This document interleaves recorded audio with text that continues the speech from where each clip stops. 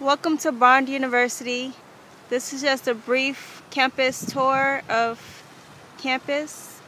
That above where you see is the highest arch in the southern hemisphere in Australia. Um, this is where the food eateries are.